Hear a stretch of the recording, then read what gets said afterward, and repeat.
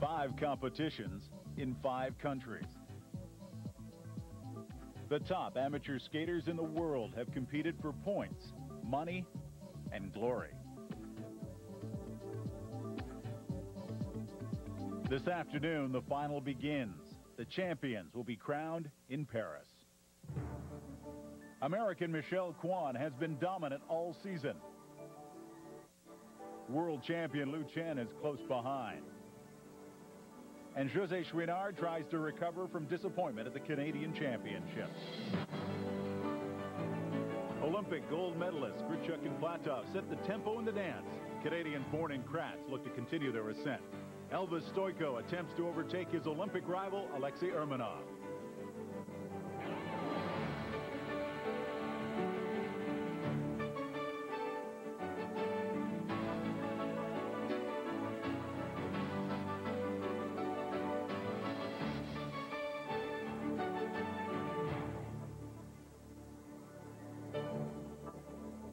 Bank of Montreal Champion Series final on CTV. Bonjour, welcome to Paris. I'm standing outside the Louvre, home to some of the finest works of art in the world. We're here for artistry of a different kind, the finals in the Bank of Montreal Champion Series. This is the culmination of a five-event series that began in late October. And there's big money on the line, over $650,000 U.S. in prize money. And the winners here in Paris could be the ones to watch at the World Figure Skating Championships in Edmonton. To set up the action at the Palais Omnisport, my colleagues, Barb Underhill and Dan Matheson. A lot of excitement about this competition, especially in men's and women's singles competition, what with the World Championships coming up very shortly. In both, we have two great contenders really going hammer and tongs, and a couple of dark horses who could come up from behind. Now, Barb, let's start with the men's competition. We've got Elvis Stojko. He's our guy. We know what Elvis can do two-time world champion, athletic skater, but he's facing a guy who really feels he has something to prove.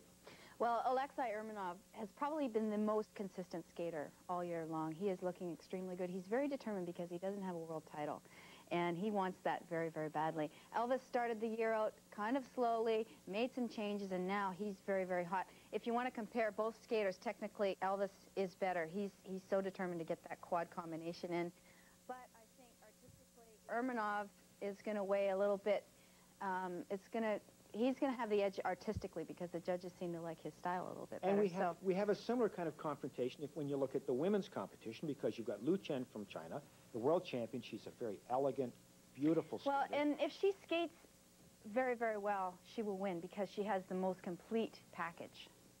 Against? Against? Against a very athletic skater, uh, almost coltish, just a 15-year-old from, from the United States, Michelle Kwan, who's a magnificent skater in her own right. But when you see the two on the ice, again, you, you have that same kind of controlled, dignified uh, sense to a, to a Chen mm -hmm. against the athleticism mm -hmm. of a Kwan. Well, Michelle Kwan is still young. She's still developing her style, but she has that mental toughness that Elvis has, and that's what counts. She's been extremely consistent, and I think that's why we have to give her the edge. It's uh, ironic, too, that you mention mental toughness mm -hmm. as we mm-hmm. talk about the contenders in women's competition. We don't mention Josée in the same breath as the other two, even though she has a package which is should put her dynamite, there. and she she could win if she could do it. Yeah, if she could ever get it together in the long mm -hmm. program. Also coming up today, Shin, uh, Shayla... Paris has been well traveled by a group of men that all have the potential to be world champion. Being number one's not uncommon for the competitors in Paris. Urmanov won Skate Canada. Eldredge, Skate America. Stojko, NHK. Kulik took Trophée de France. And Zagorodniak, the Nations Cup. Eric Millot has the hearts of the spectators. It's hard to predict the outcome of this event. The men's competition will be a matter of the best of the best skating to be number one.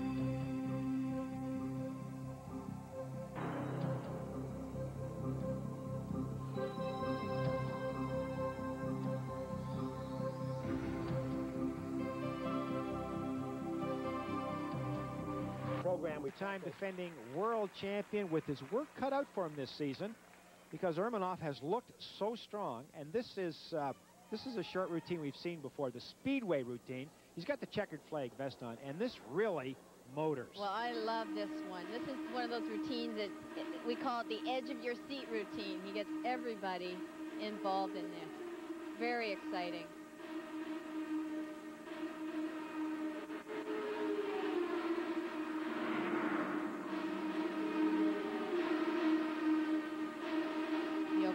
Easiest of the jumps, double axel, just for a little warm-up.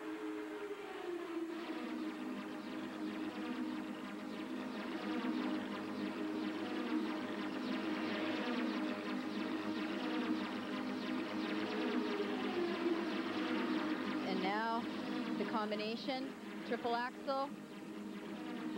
Right there, double toe. He should have, he had a triple toe planned on the end, but he did a double. Cautious there.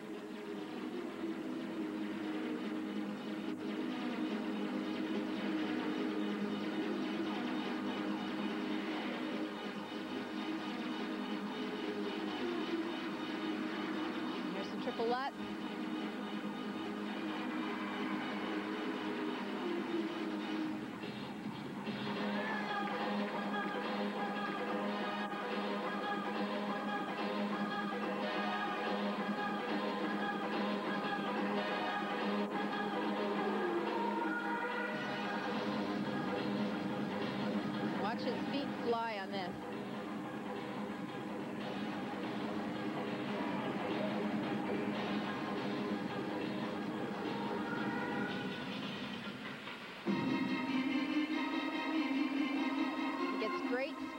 Sit spin.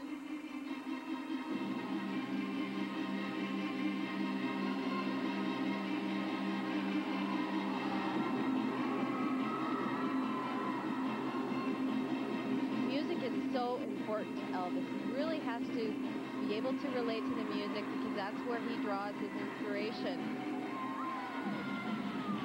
And this really works for him. Well, that was part of the big story with Elvis this competitive year is that he finally trashed his new long program and went back to music that he liked from last year. Well, he was skating to Last of the Mohicans, and he felt very uncomfortable skating to a tragedy, and went back to his old old program, the Columbus routine, and it has really made a big difference in his year. Whew. That's a lot of work. Well, that's going to be tough to beat, except for the fact that he did do a triple-double combination. There's going to be skaters out here trying the triple-triple combination. That'll set them up higher technically than Elvis. One of the things that I think a lot of Canadians have to remember is that we, we're pretty used to having world champions in the We men's sure division. are. From We've Brian Orser through. Kurt Browning into Elvis, that's an awful lot of world championships in the past decade. But the men's field right now is so deep and so full of great talent that even when you skate as well as Elvis has skated here, he's catchable. He sure is. There- there- there's a is ca- handful of people here. Anyone is catchable right now. So these marks are very important. One 5.8, all the rest five sixes and five sevens. Well, remember, he is the first to skate as well. They don't know what, what else is, is to come. There's likely going to be a triple-triple combination. They have to save those marks. Hopefully, we're going to see the second set come up.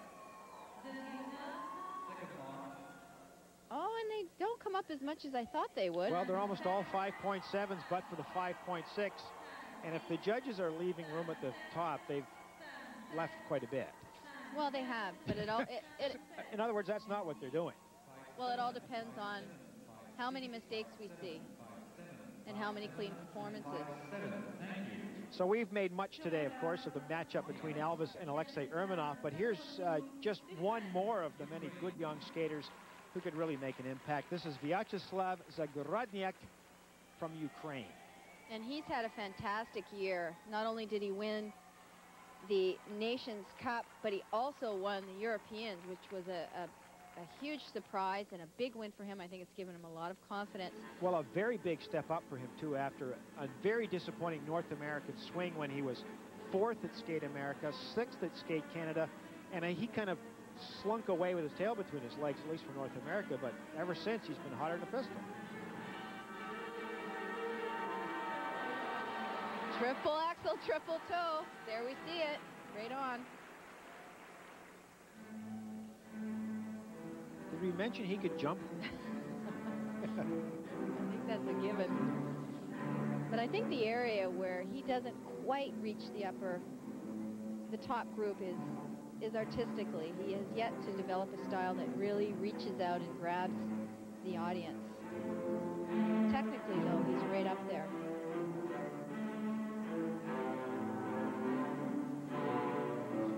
What part uh, part of the reason for his problems in the early part of the season apparently was he spent the summer in Odessa, which is his home, and they had frequently temperatures well up into the 30s, and they had bad ice. Ooh, a little wobble there. Bad ice almost all summer. He had very bad training and preparations. Well, when you consider the conditions that the Russians have to deal with, they're really not playing on a level playing field. Uh, but I think with the new Champion Series and the fact that they're now making some money, they're they're they're going to be able to, in the future year, years, be on a level playing field. Well, if they're not playing on a level playing field, how come there's so many good ones? Where do they keep coming from? I keep wondering that.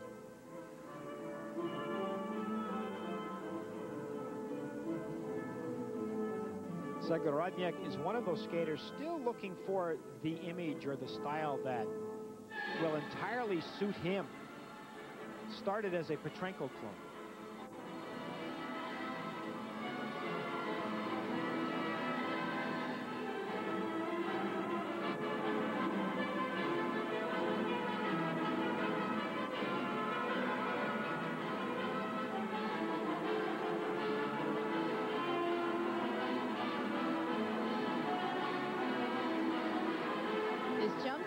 Flawless, aside from the Lutz, which had a, a tiny wobble.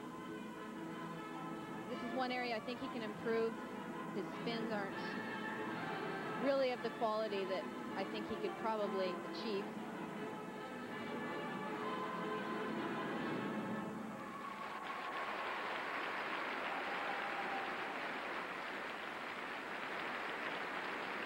He's 23, Vyacheslav Zagorodniak from Ukraine. But as you can see by the response from the audience, they've already almost stopped clapping. That is where he needs to develop. He needs to develop some rapport with the audience, either that or just a new style that, that can really involve them and create some sort of emotion.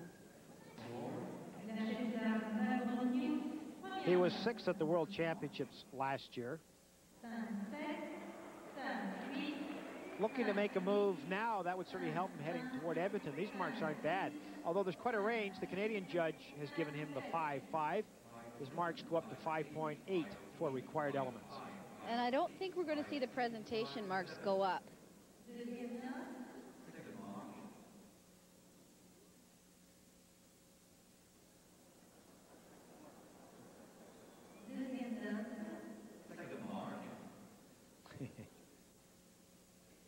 Well, not a lot of change.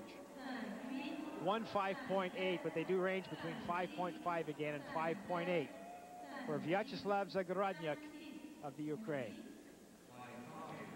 Well, he's going to get make you think that he's been there and back, but actually, he's a real late bloomer as a skater, and he's been getting better and better the last couple of years. He has just basically arrived onto the scene this year and last, and I think a lot of that has to do with the fact that he discovered the triple axel. He, he finally got that. It's not extremely consistent for him yet, but you absolutely have to have it to be in the top group. That gives him the extra added confidence. But he tends to always sort of have one little error that keeps him out of it. He seldom puts two program clean programs back to back. Here's the triple axel. Very well done. But he skates with so much passion, and when he's skating well, he can really, really connect with an audience. And this audience would want to be connected with. this is his crowd. And it's nice that he's finally emerged from the shadow of Philippe Candeloro. There's a triple flip. Because Philippe became so popular in this country last year, and this year's been out due to injury, so it's it's, it's given him the chance, yes.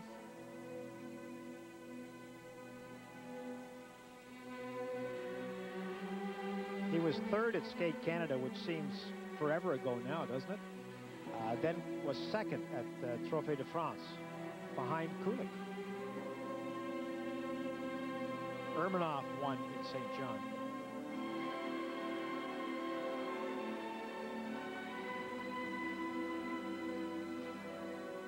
Barb, you mentioned uh, Candeloro.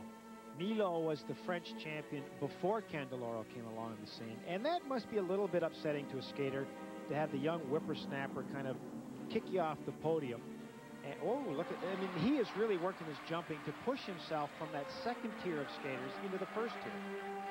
And good for him for, for coming back, for not quitting at, at, at his age especially. He has a wife, he has a child at home, and he says that has even given him more confidence, more passion in his skating.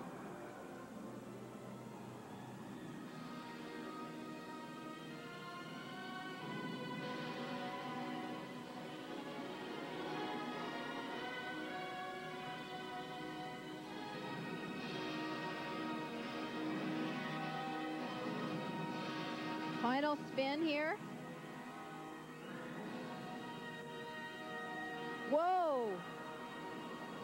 Held on to that.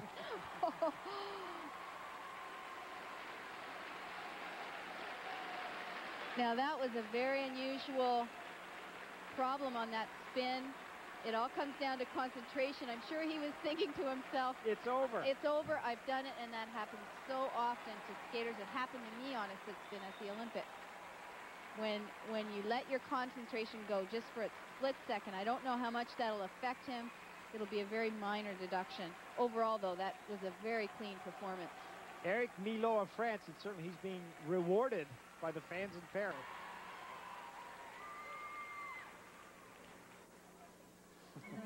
And it's nice for him to be able to perform in Paris and gain that fan support that that he needs. Well, the fans won't be nuts about these No. marks. A couple of 5.4s, 5.5s, peaking at 5.8 from the French judge. But remember, they started with a very low base. When they started with Elvis, they didn't go crazy on his marks, so they have to mark these accordingly. well, the marks for presentation up to a couple of 5.9s. These marks are very good. He's in second place in the men's short program. He has to be pleased with that. Extremely. Now, there are Stojko and Urmanov, and I guess we'll find out in the next two minutes and change whether or not that, in fact, is going to happen. Alexei Urmanov, the man who won the gold medal at the Olympic Games, beating Elvis in Lillehammer. But Elvis, of course, has come back to win the next two world championships. Well, But so this is the guy. so much depends on the opening triple axel combination because if he doesn't do it, he's looking at fifth or sixth spot. If he does do it, he's looking at first or second. Triple axel, triple toe loop. There you have it. He was a little- Urmanov is not one of those skaters who often self-destructs. once in a while we've seen it actually, but he's he's come around this year. He's he's gotten much more consistent in his skating, and he had a hard time after the Olympics dealing with that title. And there's the triple Lutz, but he's been very solid and consistent this year.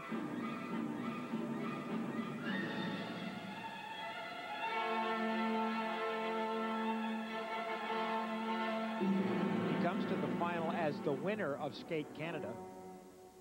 He finished second at the Nations Cup to Vyacheslav Zagorodniak. And he had to withdraw from the European Championships earlier this year because of a problem with his eyes.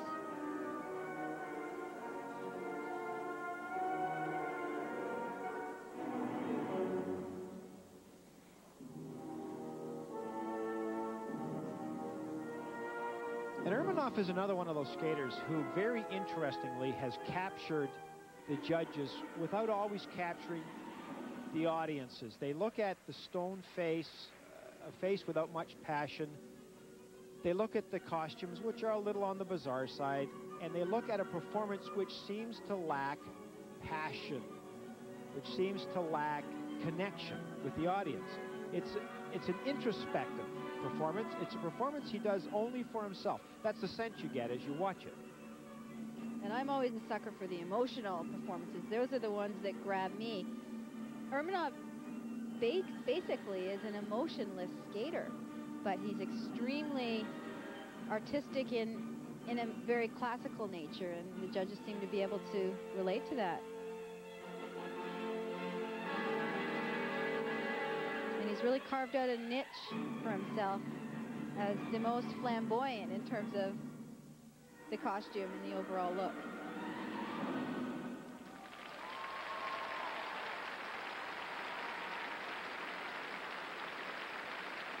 Well, technically, that was stronger than Elvis in terms of the combination. He did the triple axel, triple toe loop combination. I don't know how he did it because when he did it, he almost came to a standstill after the first jump. I don't know how he pulled that triple off the end. Program, and look at these marks. Up to 5.9 for required elements. Remember, Elvis was pretty much 5.7s across the board. Urmanov, who, well, now he'll take a look. uh, had a couple of 5.7s, but boy, those marks were very strong and the judges always like him here. There's your leader, Alexei Urmanov, after the short program, is in first place. And he plans to beat Elvis Stojko, but I'll tell you what, it could be a real barn burner of a long program because Elvis has got the quad. This guy, well, who knows what kind of an outfit he'll wear. Kwan, Chouinard, and Chen all find themselves in Paris, the culmination in the Champion Series. Lu Chen shone at NHK, where her solid jumps gave her first place. Josée Chouinard skated a flawless short program at Trophée de France. Then there's 15-year-old Michelle Kwan, who swept Skate America, Skate Canada, and the Nations Cup.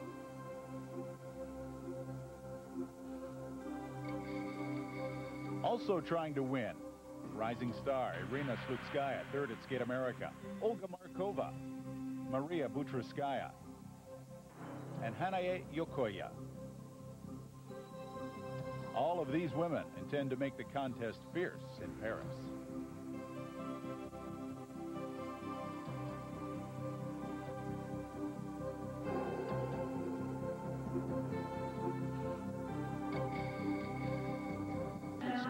Michelle Kwan, the European champion. Uh, Slutskaya, Michelle Kwan, of course, is the U.S. champion.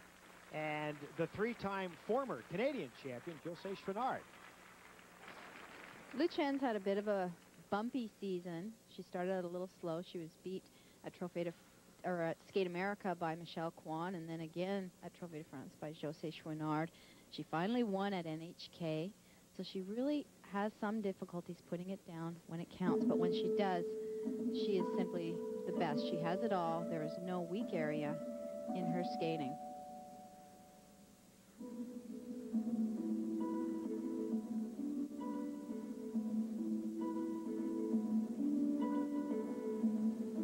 She's got nice speed going into this triple Lutz combination.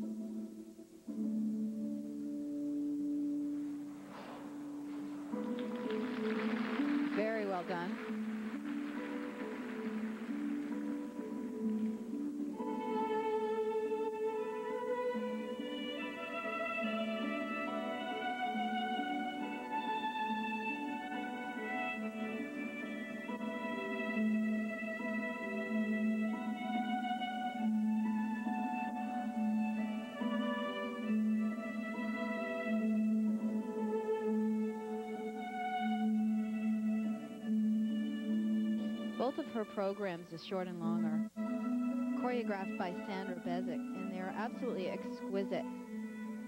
She's a marvelous interpretive Well, and her arms and hands are just so beautiful to watch, and they add an extra element to her level and quality of her skating. That was a beautiful triple toe loop. And everything is choreographed right down to the last detail.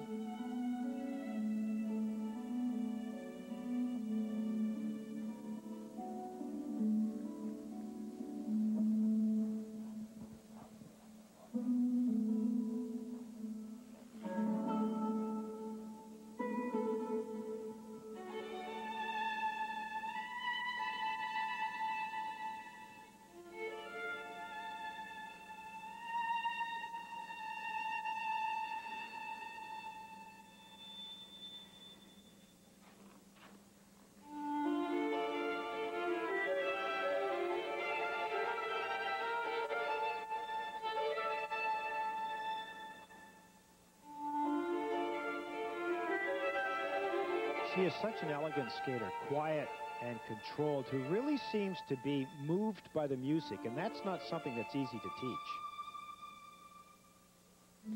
She's extremely musical. And I think when you compare her skating with, say, Michelle Kwan, she also has, she's, she's a more powerful skater. She has more speed.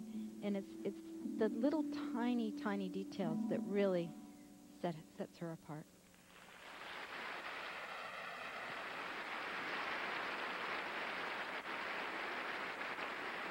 She has been the Chinese national champion since 1991, the reigning world champion, 19-year-old Lu Chen of China. And she could not have skated that short program any better. The quality of the jumps was was perfect. It was just an exquisite program to watch. The judges always take their time with the first skater, and they always have to leave a little room at the top, and boy, are they in uh, accord on this. 5.7 sure. right across the board for required elements. And I'm sure we're going to see the presentation marks come up.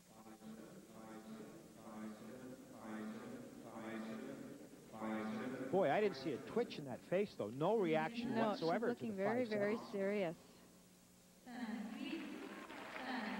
Well, you're absolutely right. Almost all 5-8s but the one.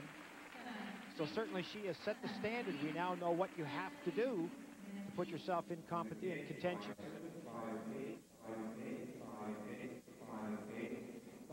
Now here's a youngster who's causing uh, a real sensation in Paris. She's 17, Irina Slutskaya from Russia. And it's hard to believe, but this teenager is the first woman figure skater ever to win an international seniors, uh, seniors title representing either Russia or the old Soviet Union. And she won the European in January. She's absolutely a joy to watch. She has such a an energy about her that, that makes makes it just really fun to watch her. And I think we're seeing a skater here where the, the pressure really hasn't hit her yet. As opposed to Lu Chen, who is, as world champion, has a tremendous load on her shoulders. But Sky has absolutely nothing to lose.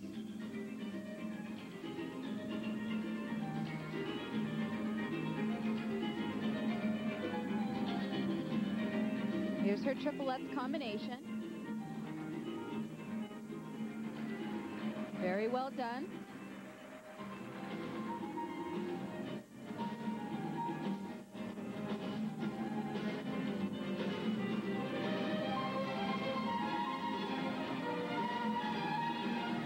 And a triple loop.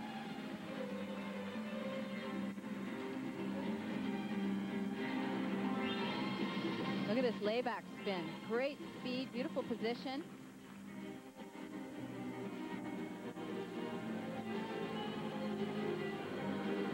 Now you can really see the difference in the quality artistically between Lu Chen and Slutskaya. She's out here. Every little movement is not choreographed. She's she's a little bit wild with her arms and just not quite as refined as, as Lu Chen yet, but she's still very, very young. Great energy, effervescent. She has huge height in her jumps.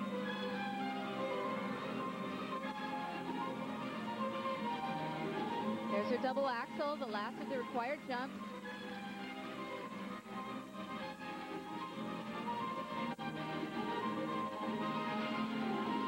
Not only is she a very solid jumper, but she's also one of the best spinners in the field.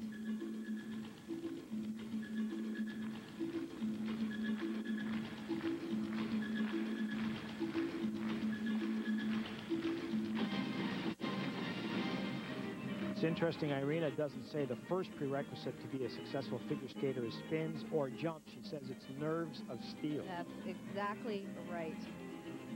She said a clear head is what it needs to get you to the top. And it's so true. There's her combination spin. Straight up into the Biellmann spin. On, both, both legs. She's amazing.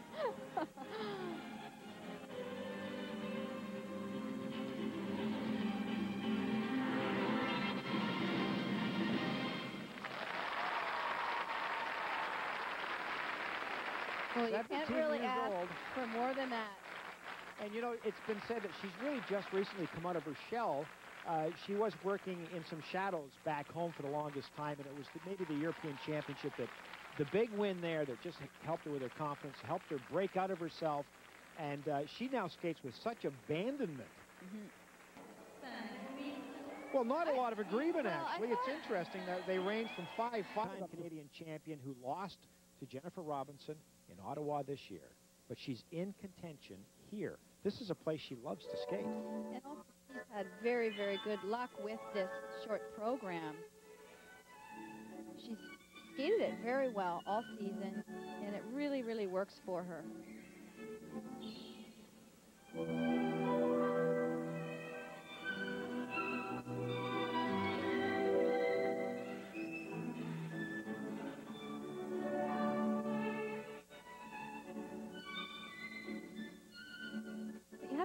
She's feeling confidence-wise after the loss at Canadians, whether she's a little fragile or whether she's more determined than ever. And I think we'll see here on this triple Lutz what state she's at.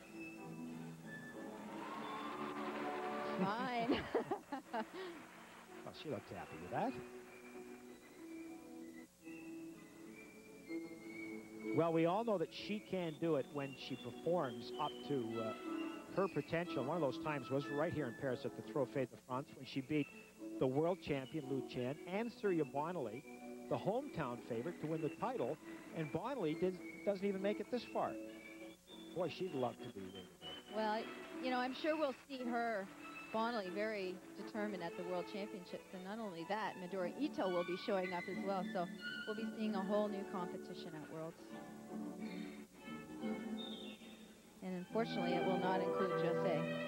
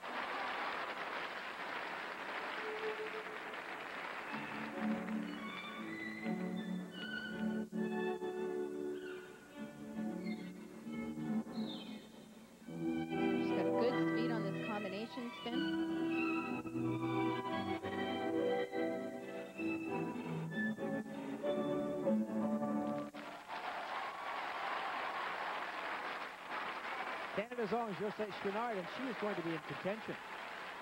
Definitely. I think that performance is is up there with Chouinard, or sorry, with with Chen and with Slutskaya. It's a matter of where they're going to place her.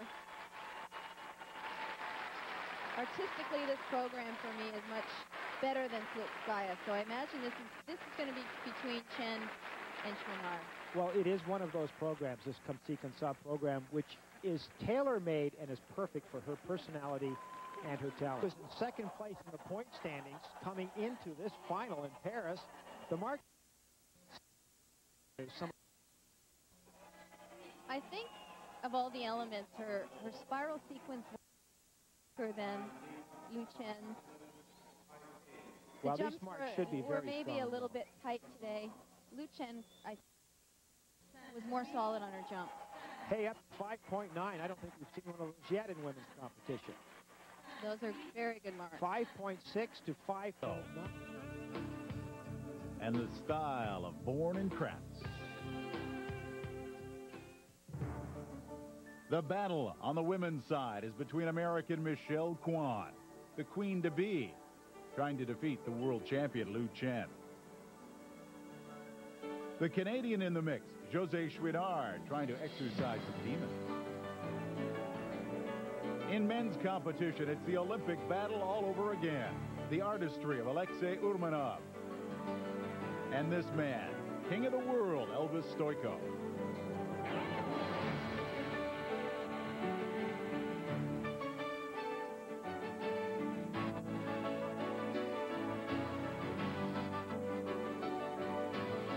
Come to the Champion Series final at the Palais Omnisport de Paris-Bercy.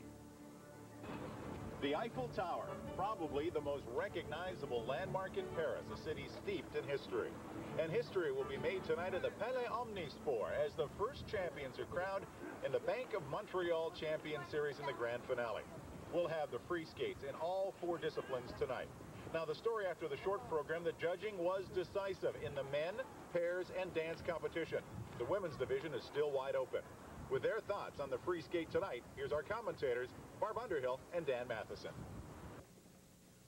We're going to open tonight with the long program, women's competition, and I'll tell you, this has not gone exactly according to Hoyle. We've got all kinds of question marks and balls juggling up in the air. Michelle Kwan in 4th mm -hmm. place. What's happening there? I don't think we can count her out yet because we know what she can do in the long program. You have to look at who's on top. Lu Chen, who, if she skates well, will win. She's a magnificent but, skater. She's the world champion. Yeah, yeah, but she also has problems with, with contending with the pressure. With Yee, that brings us to our number two person. Josée Chouinard, who we also know, if she skates well, can win. But um, this program this year, she is yet to really, really prove herself with this long program mm. as well. We have to look at Irina Slutskaya because she is absolutely awesome. She won the European Championship. She's a joy to watch. She's in third. She can win. Boy, it's Josée and the three teenagers, huh? have to watch, won't you? Of course, every time you get down to the championship final, the free skate, the long program is how strong is the skater between the ears. And that is, in fact, the question many, many times, because when you get to this level of skater, you're looking at an awful lot of talent. Irina Slutskaya starts, Lu Chen, the world champion, is second. Josée Chouinard, wearing the Canadian colors, and the American champion, Michelle Kwan, will be fourth. Uh, they are all great skaters. Any one of these four skaters, there's Chen, the world champion, could win this thing if they skated up to their potential. And so very often it comes down to how tough they are. And this is how they stack up. Lu Chen against Josée Chouinard, technically. Um, Lu Chen has six triples planned. She opens with the triple Lutz. Josée has seven planned, but she she opens with the triple sal in order to warm up for the triple Lutz.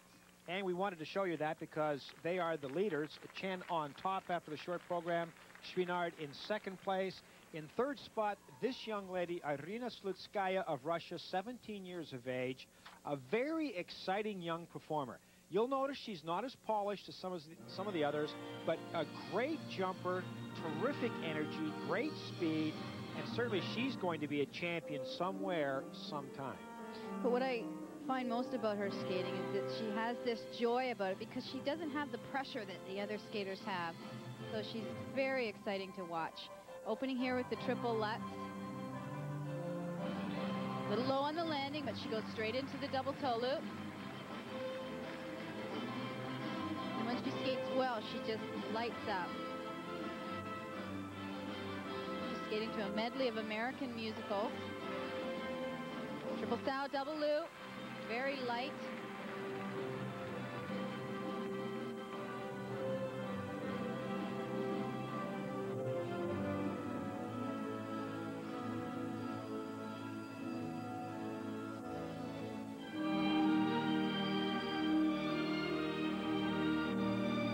World junior champion last year, Slutskaya finished third at Skate America, fourth in Paris, and slips into the champions round, edging Surya Bonaly of France, which is most fitting perhaps since Bonaly was the five-time European champion that Slutskaya dethroned earlier this year.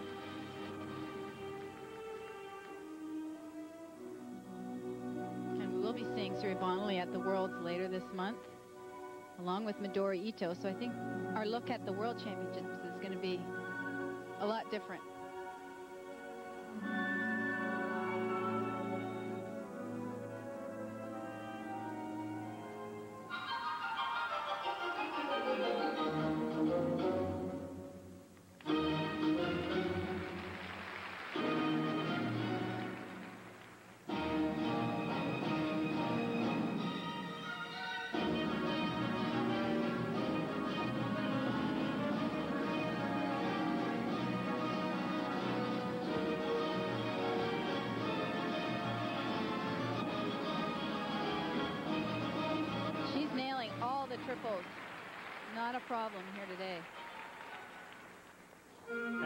European Championships in Bulgaria, she had six faultless triple jumps. Wow, she's just right on.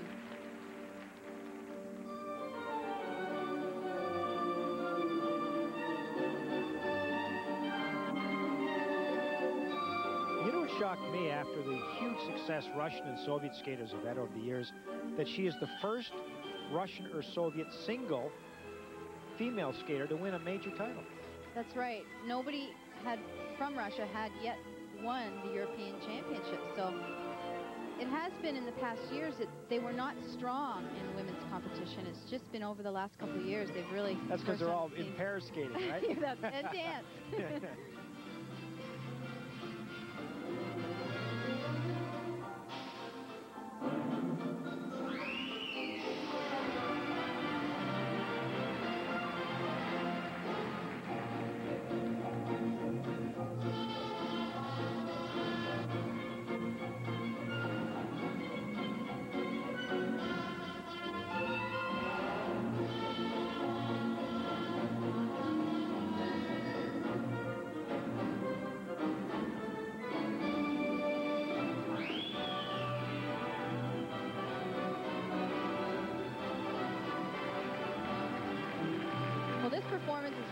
putting the pressure on Chen and Chouinard ahead of her because she's been faultless up to this point.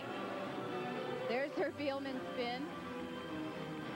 And Chen and, and Chouinard are really going to have to skate.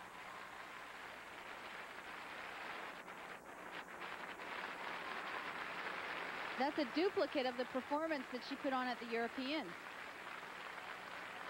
Boy, still just a kid. 17-year-old Irina Slutskaya, sickly youngster, and uh, mom got her into skating to get her in the pink, which is certainly where she is now. Look at those marks. And look at this triple Lutz. Very good height. Little low on the landing, but she pulls it off. And she knows how to win. She says it takes nerves of steel, and you've got to have a very clear head.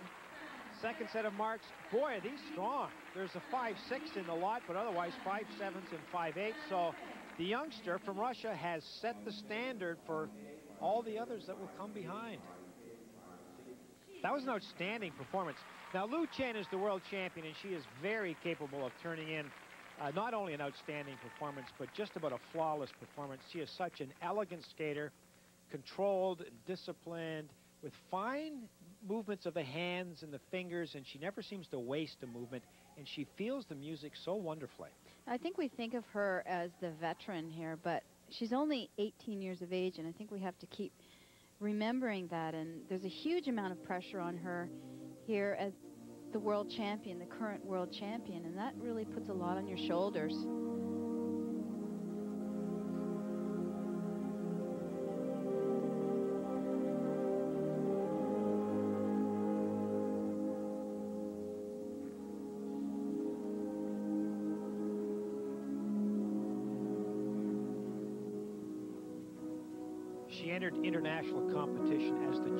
Chinese national champion, which, to be fair, didn't say much in 92. She's opening with a triple Lutz. Oh, my goodness. She was not over top of that foot when she landed. That's very costly. Extremely. Because now this is a huge challenge for her to really get she back on track. faultless. And she's got a very difficult triple flip coming up. So she's got to calm herself down flip. There she does that very nicely.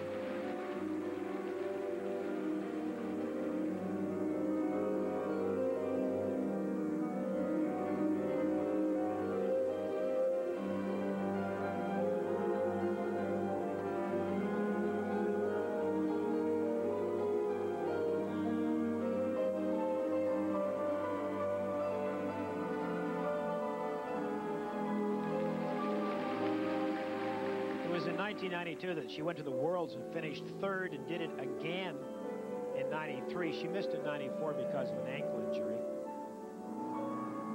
but won year, it all last year in Birmingham. That, of course, was after the previous generation of top skaters had moved on, Oksana Baiul and Nancy Kerrigan. Here's a triple loop. She's looking cautious, and she popped it.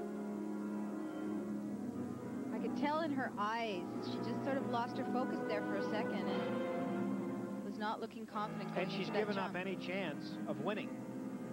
Well, after the performance of Slutskaya, she would have had to been almost flawless, but with room for maybe one error. But I think now these two errors have cost her the championship.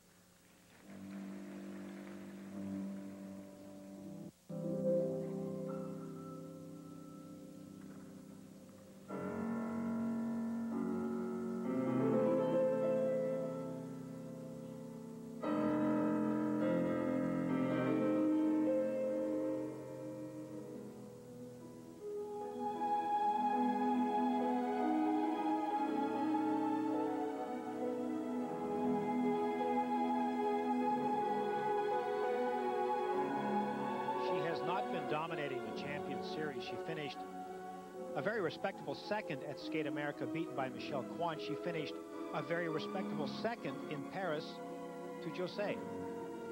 And here's her second triple Lutz. She really needs this, and she popped that as well. She's totally lost her focus.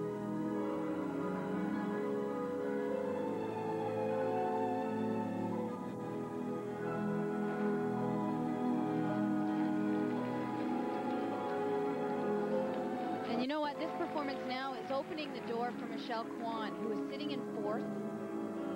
If Lu Chen finishes lower than third, Michelle Kwan can win this whole event with a clean performance.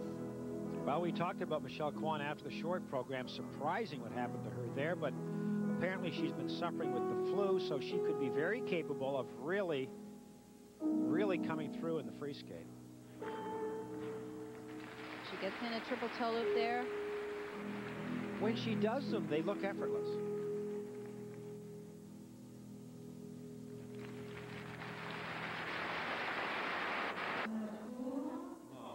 So you will see both spellings actually in dispatches from around the world. This is not surprising. Perhaps the only one that is surprising is that 5.6 from the Chinese judge right in the middle. Uh, a 5 and a 5-1, these marks are poor.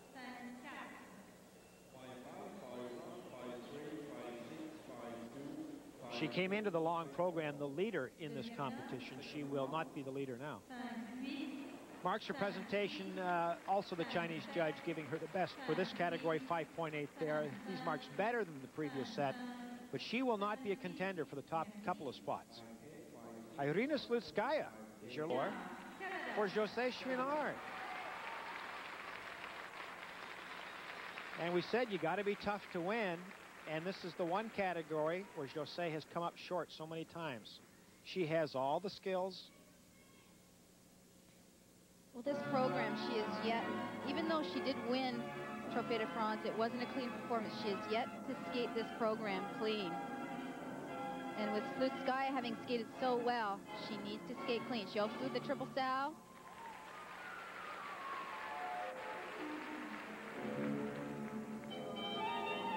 She's looking quite comfortable, actually. But it, it will be the opening triple Lutz that will tell the story here.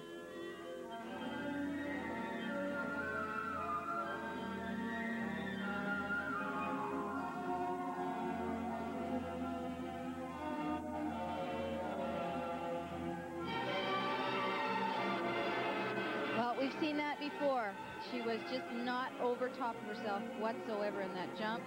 She does it time and time again in practice. She just can't seem to put it down when it counts.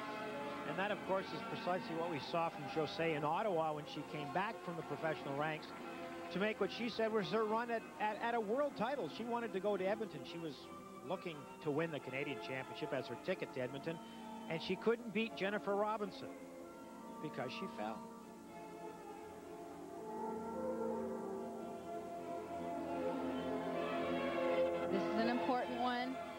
Triple flip. She turns out of it.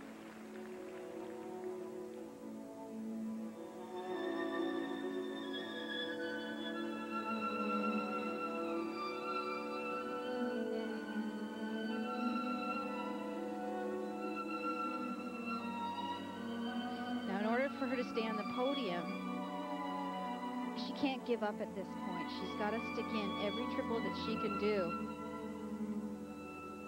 Which happened, which didn't happen at the Canadians, where she started to pull out of triples and started doing doubles. She needs to fight this through.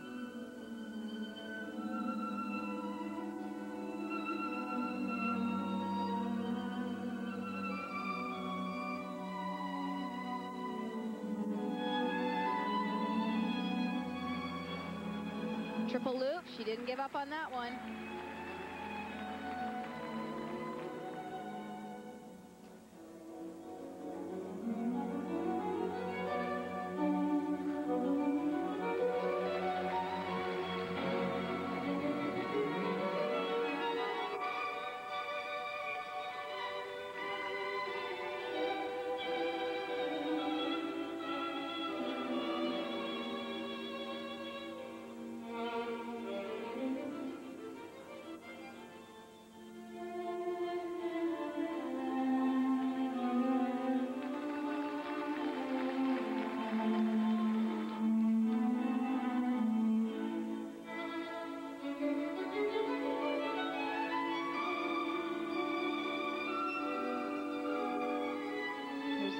Triple and she doubled it.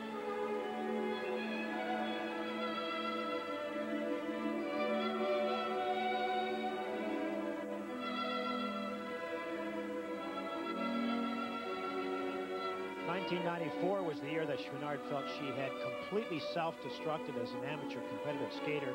Recently crowned three-time Canadian champion, she finished well up the track at the Worlds and the Olympics and almost in disgust competitive skating to become a professional. But then felt the sense maybe that she hadn't ever accomplished as much as she thought she should be able to do. She pulled out that last triple toe loop.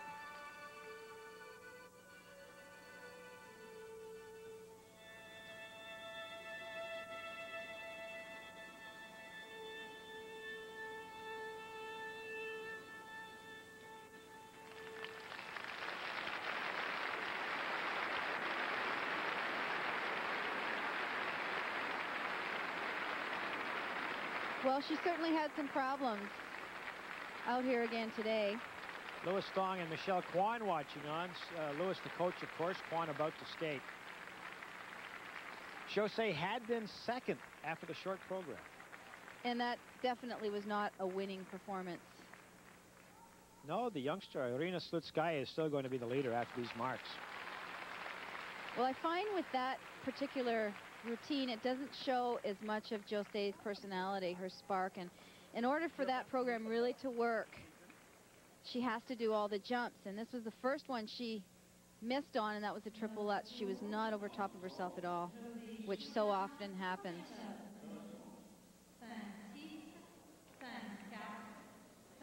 The marks are just about what you would expect, 5.4 through 5.6, pretty narrow range. Well, you have to wonder what she's going to do after this event. I think she's got a lot of... Two years to Nagano is a do. long time. Mm -hmm. Josée is 26 years old, which is not ancient by skating standards, but certainly by competitive standards. Uh, she's no kid anymore. Speaking of kids, of the contenders, the American champion, 15-year-old Michelle Kwan, who uh, really broke out last year and has just been riding a rocket ship. She's been winning almost everything in sight. The world junior champion in 94, fourth at the Senior Worlds last year. This year she won Skate America, won Skate Canada, won the Nations Cup. And she could very well win here. Now with Josée Chouinard and Lu Chen out of the way, if she skates well, the door's open. She opens with a triple Lutz, double toe. Not a lot of speed coming out of her jump.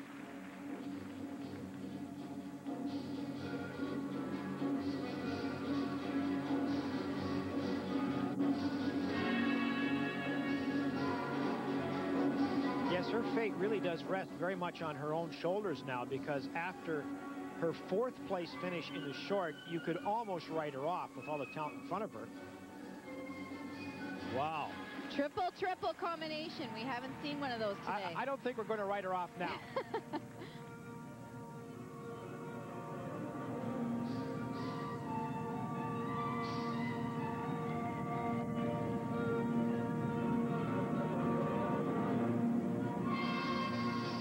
if you are new to Michelle Kwan, you would not believe how childlike this person is off the ice. What you're seeing is an almost complete facade of makeup and hair and costuming to make this look like a mature woman. But this is a kid who can really skate. And that is what has made the difference, Dan, in, in her success this year. That was one thing she lacked last year was the maturity in her skating. And so they decided to give her maturity.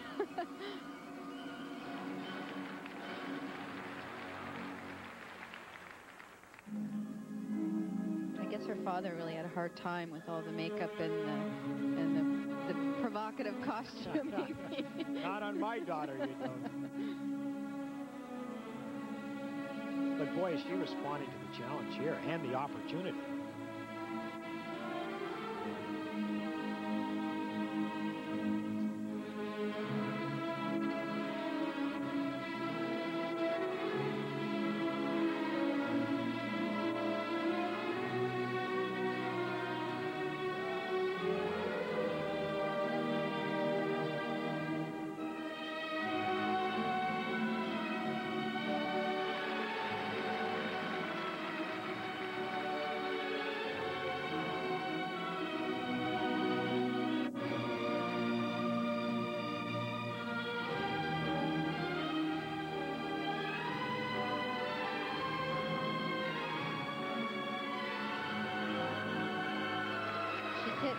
Triple so far.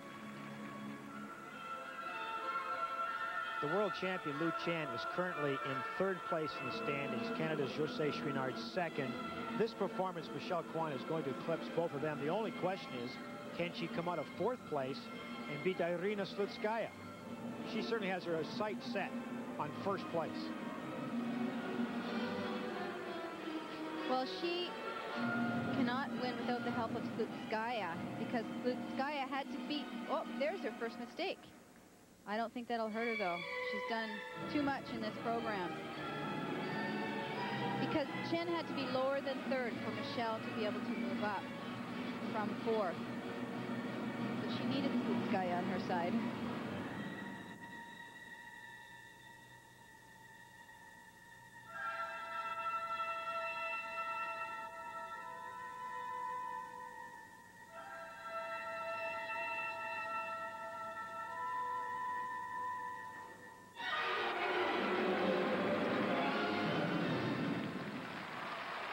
Magnificent. The coach, Frank Carroll, Josée Chouinard, knows that she has just been bounced down another rung.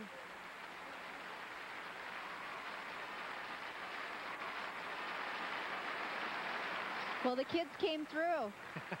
There's the coach, Frank Carroll, the man given the credit for reshaping the image uh, going for what maybe Dad didn't like, but you know what? The judges like it, the fans like it, and that is a winning look. Well, he said last year the only problem was age. They wanted a ladies champion, not a girls champion, and so they had to develop that. And it's worked. Mind you, she also has all the jumps. She certainly does. She's she's developed um, more strength and more power this year as well that was one of the criticisms last year was she didn't have a lot of height on her jumps or a lot of speed, and she's certainly worked on that. So here come the marks. Look at those marks. The American judge of 5'9", but all the rest are 5'8", but for the Canadian judge, who gives her a 5.7. And the triple-triple combination certainly helped. And this is the biggest difference between last year and this year. Again, 5'9", all 5'9", a couple of 5'8", you are looking at the champion. Michelle Kwan comes out of fourth place after the short program to claim the champion series. Just a remarkable performance.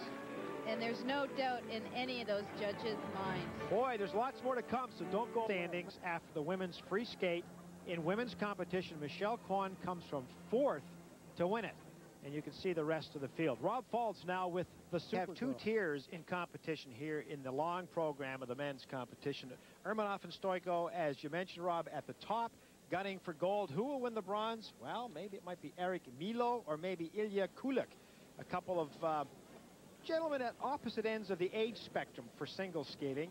Uh, Eric is a late bloomer who has just really put the, the triples together. Uh, he skates for France, and Ilya Kulik, a young, very talented, good-looking, lots of potential kind of kid from Russia who's still a little rough around the edges.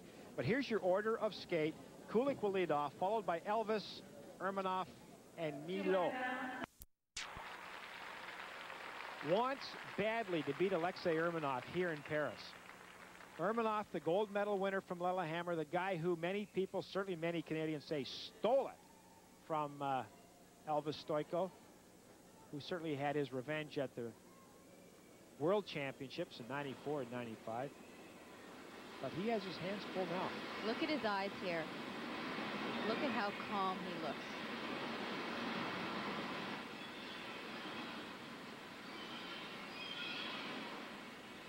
He's really focusing on doing the quad in this program. Because he knows that if he's going to beat Alexei, he's got to do it technically. He needs that quad.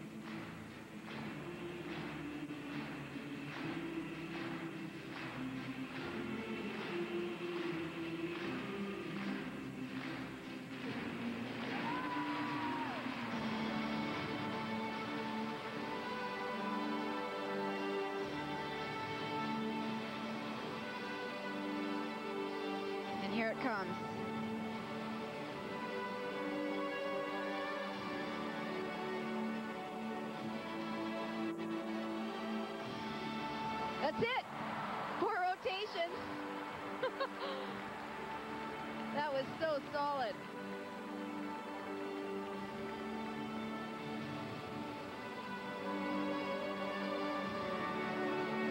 Now the key for him here sort of reset. He's been so focused on that quad. He's got to reset himself and get ready for the triple axel.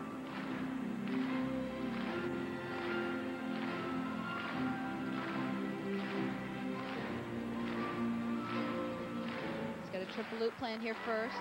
Very well done. Once again, in case you're joining us late, Elvis second after the short skate. Boy, we're not used to saying that, are we,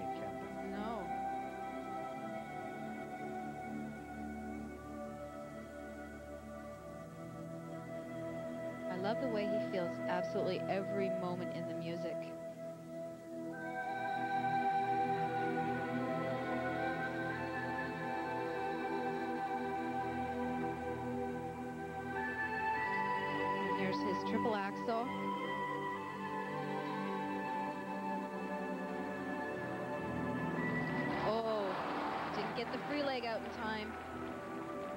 That was a critical error.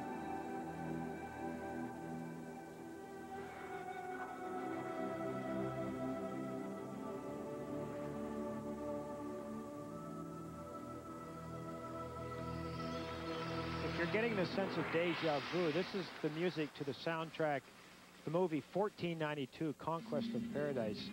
The music he used last year in the program, which, having abandoned it once, he went back to this year, feeling it was much more suited to him. Well, he thought that he really didn't give it a really fair shot last year either because of his injury. He felt that he, he could go further with this program. Here's another triple axel. He needs this. There we go.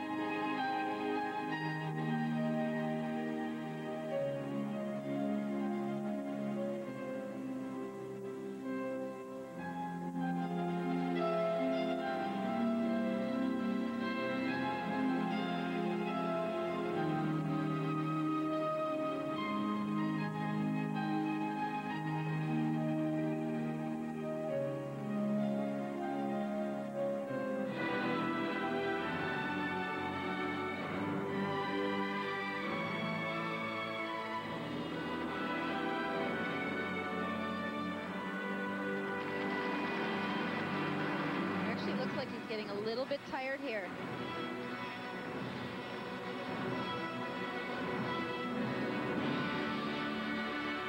He's got a tough triple Lutz plan here. Oh, triple, he tried to do the triple-triple combination right at the end. That was the co combination that won him the World Championships last year. And he wow. falls out of that one.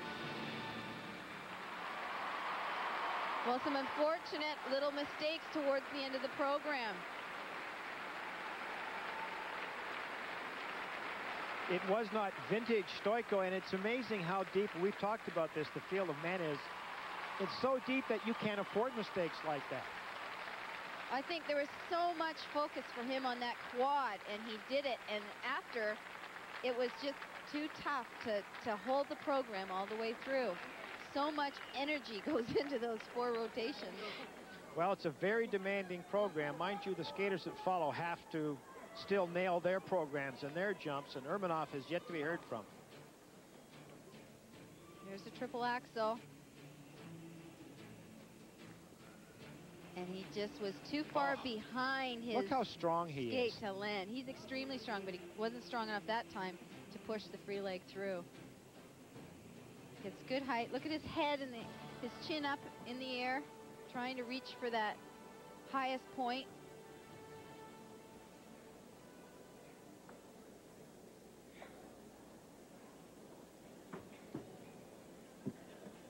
Well, some nervous moments here. That's Doug Leigh on the right of your screen. And Uschi Keszler on the left.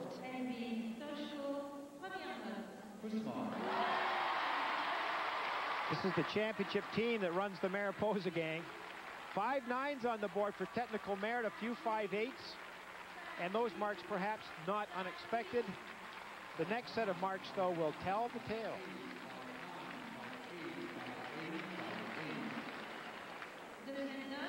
Second mark. Well, 5.8s, but also a couple of 5.7s. What it means is Urmanov has to skate well. Urmanov can't just loaf and win this thing. That Alexei Urmanov won the gold medal in Lillehammer. He had never in his life, before that time, won a major skating championship. And he had a really hard time living up to the the title Olympic champion. He went to the Worlds after that. He placed fourth. Last year, he was again fourth at the Worlds, so he's very, very determined. But still a young man. He's just 22 years of age, and this is the year many people say he is coming into his own. Triple axel, double toe loop. He's become a very consistent skater this year, and, and that was always his problem the last couple of years. He just couldn't put it together when it count, counted. Well, he certainly carved out a, a spot for himself all his own with, with his choreography, his costumes, his kind of very impassive visage. It's very difficult to tell that he's involved in this skate, although the body would belie that. Uh, it takes a huge amount of energy and dedication and passion to skate like this. He just doesn't show it in his face. Well, whereas Elvis skates with his soul and every single nuance in the music, Alexei is is very emotionless and, and simply is out there. He's a much more classical artist, and, and I think the judges seem to like that.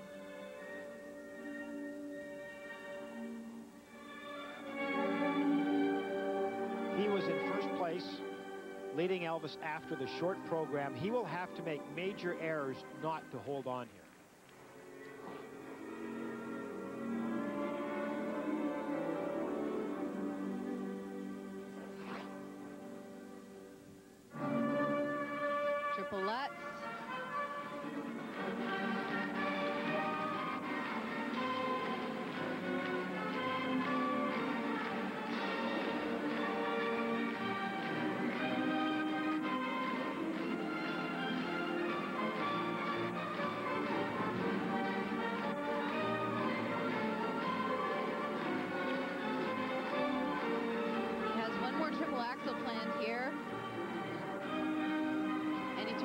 double.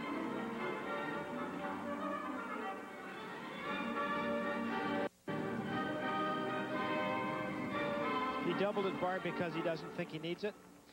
No, I think it was just middle of the air. It didn't quite feel right, so he played it safe, came out after two revolutions.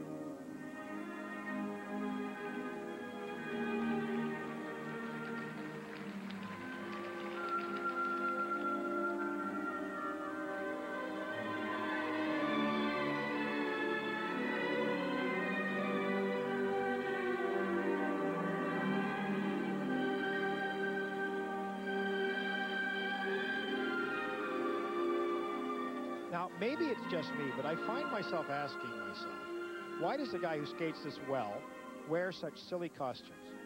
Well, as you said before, he's trying to carve himself a niche, and he has. He's he's the most flamboyant skater of all of them, and you know who he is. Triple loop.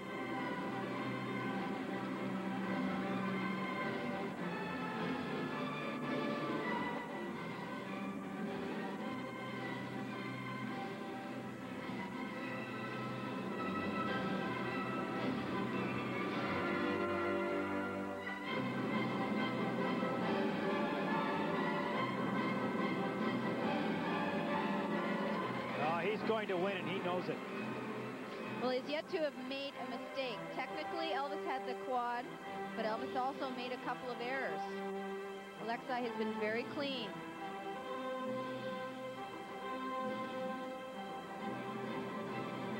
Now watch this combination. Triple sow, double loop, hop, hop, hop. Triple toe loop. That should nail it for him.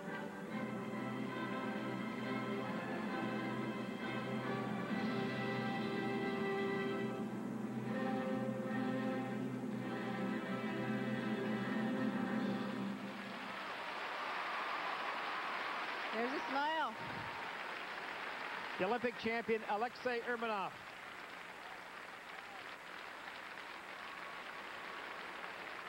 And he is certainly staking his claim for Edmonton.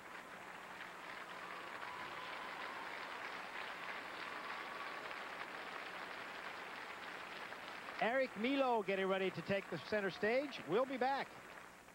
That was a very solid one. Little wild on the landing there. But overall, the, the performance was flawless. He is the man from St. Petersburg, Russian Alexei Urmanov. The coach is Alexei Mishin. And here are the marks for technical merit, 5.7s and a couple of 5.8s. I think that's lower than well, most people expect. He didn't have a triple-triple combination, and he didn't have a second triple axel. So that's why we're seeing those marks. But I know these marks are going to come way up. And this is where he gets Elvis, all things being equal. 5.9s. There is a 5.7 from the American judge, and that's it. There's your champion, Alexei Urmanov, who this year won in Skate Canada, came second at the Nations Cup, has now won the Champions Series championship. In a 4-3 split. Wow. But you know what? We haven't seen the last skater yet. Eric Millot of France has yet to skate, and this is a very popular competitor, certainly in Paris. He used to be the French champion before Philippe Candeloro took over and became the high-profile guy in town. Um, he looks kind of like a gunslinger, doesn't he? Like he wants to get that title back. He looks, he looks, really nervous. I'm looking at his eyes here. This is uh, a lot of pressure for him, being in his home country, hometown crowd. He's sitting in third spot, so he's he's right on the verge here. Hopefully he can pull it through.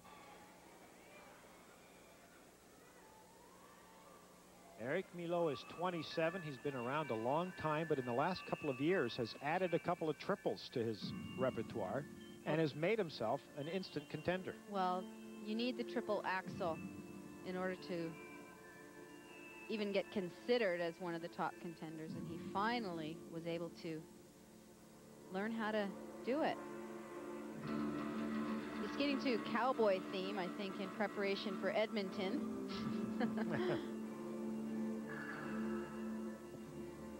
and he opens with the triple axel.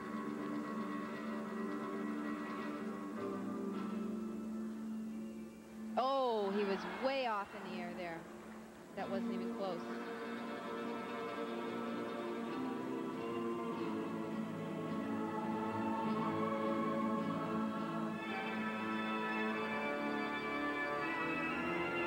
Right, he does look very tight, and it's, and it's interesting because he doesn't have a chance of catching Elvis or Alexei. But that was a beauty of a triple Lutz. Oh, and he turned out of the double toe. It must simply be the fact that he's skating in front of the hometown yeah, crowd. He's, he's got to relax.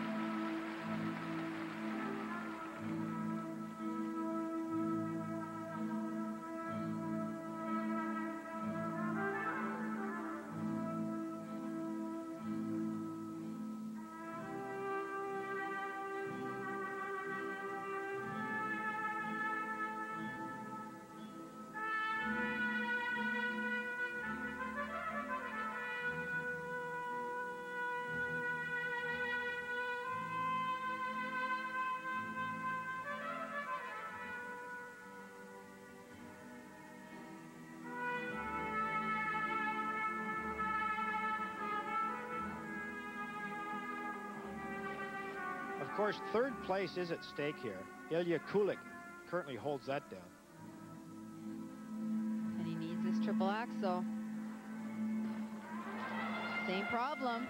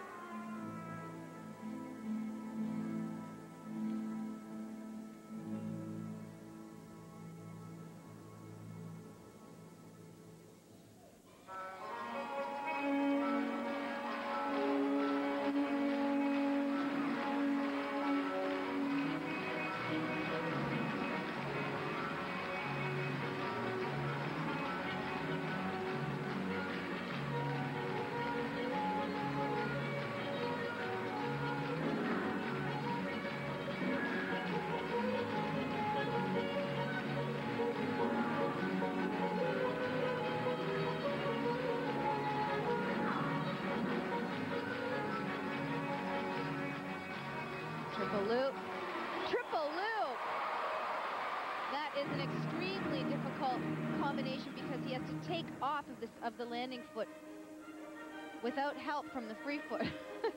That's the only clean triple-triple combination we've seen in the competition. And that may have won him third spot.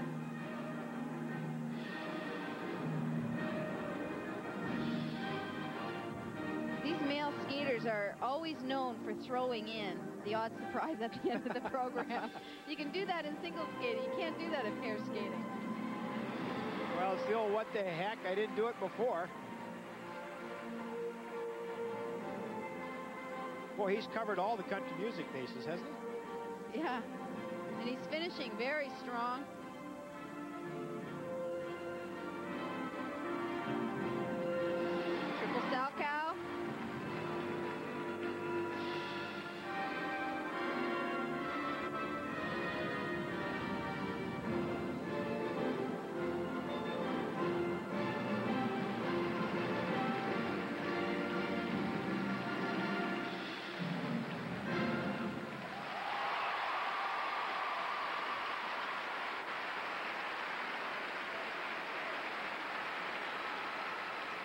Well, the triple axel wasn't there today, but he certainly pretty much got every other triple in the book. And you're right, Barb. Some early jitters, but then he really seemed to build and grow in confidence as the routine went on. And when he hit the, the triple-triple combination, he just seemed to fly after that. And that was not a planned combination. He just threw that in, and that is an extremely difficult combination.